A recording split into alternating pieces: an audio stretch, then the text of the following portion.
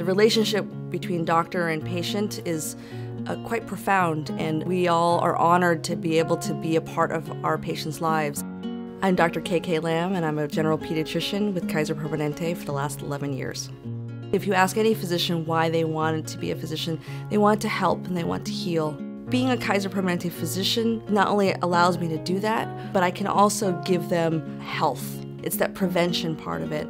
The joy about being a Kaiser Permanente physician is the fact that I have all of the resources that Kaiser has to support me in being the best personal physician for you. I have this wealth of knowledge of subspecialties that exist that I can tap in easily by picking up the phone or sending them an email, and they will be able to respond to me right then and there. That accessibility is enormous. It gives me the resources to give you everything to ensure that you are both healthy and happy.